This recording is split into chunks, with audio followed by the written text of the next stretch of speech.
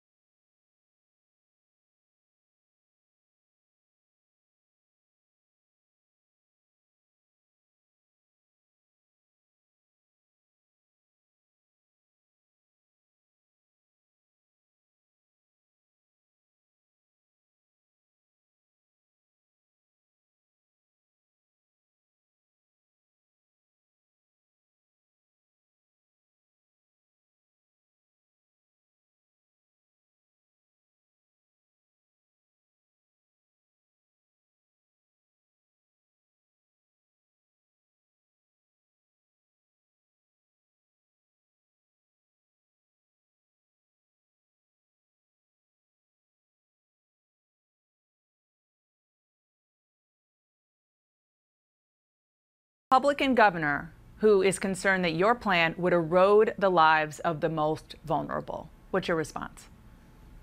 Yeah, it just wouldn't happen. Uh, and we're continuing to work with the governor to, to make certain that they understand and appreciate the, the, the plan in its entirety, the kind of waivers and options that we're offering states, the kind of re extra resources that are going to be available for states to cover the most vulnerable. Look, I'm a physician. I took care of patients for over 20 years. Uh, the, the healthcare system that, I, that I'm supporting and will continue to support is one that actually responds to patients' needs, not just in Nevada, but in, in Pennsylvania and in Florida and Washington State and in Maine and, and, and New Mexico, all across this country. We've got a healthcare system, again, that's working for government right now, but it's not working but, for patients. And there's Secretary a better way Price, to do this. But let's just stay specifically on this question about Medicaid, because uh, he's not the only Republican, actually, both of them in Nevada are not the only Republicans who are concerned about Medicaid cuts. Just looking at the House bill,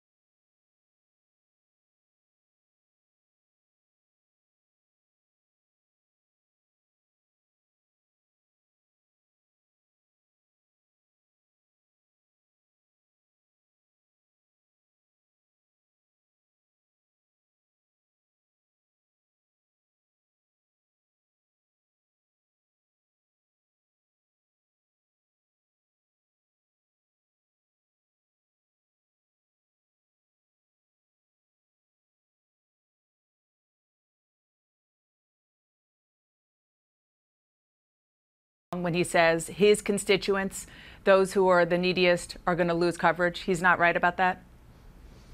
Well, uh, uh, Dana, I know that that's what that, that, that, the division is what news wants to do. The fact no, of I'm the matter asking. is what I'm we're trying to do is to bring facts. people are, together. is he wrong? What what and, and what I'm telling you is that the system, the plan that we have would put in place would not allow individuals to fall through the cracks, would not, we would not pull the rug out from under anybody. We would not have individuals lose coverage uh, and, that, that, they, that they want for themselves and for their family. We want to make certain that health care is available to all Americans. Right now, we've got 28 million Americans who are uninsured who don't have insurance right now in the current plan. Is that a plan that works for patients? Absolutely not. That's the kind of thing we're trying to fix. I, I want to look at a different part of the uh, of the plan before the Senate, uh, and, and certainly what we saw in the House as well, and that is that it would slash taxes on the wealthiest Americans. Looking at the bill that came out of the House, billionaire investor Warren Buffett said that your plan would reduce his tax bill by 680 $1,000. And he has a question for public officials that I wanted to pose to you.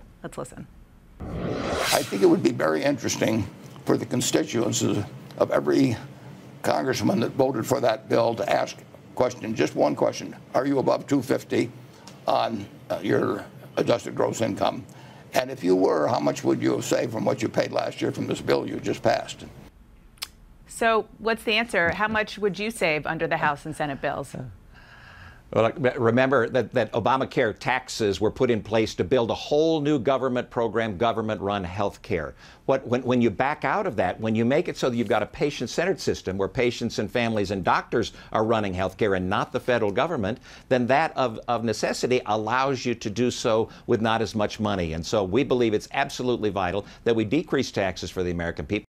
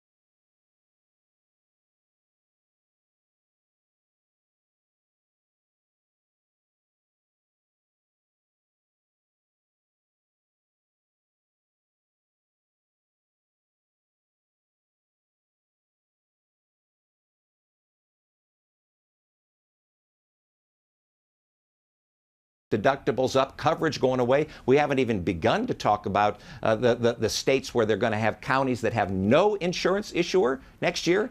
That's not a system that works for patients. That's what we're trying to fix. I'm not sure Warren Buffett is going to be satisfied that he got an answer to his question, but I appreciate well, I'm it. not sure. Warren Buffett is interested. I'm not sure Warren Buffett is interested in covering those individuals in those counties that won't have insurance. What are we going to do about that? That's the key. We've got to make certain that we're looking at every single American citizen and every single individual across this land who needs coverage that they want for themselves and for their family, not that the government forces them to buy. Well, we'll see what happens this week with the Senate uh, and this very, very important bill that's before them. Thank you so much for your time this morning, Mr. Secretary. Thanks, Dana.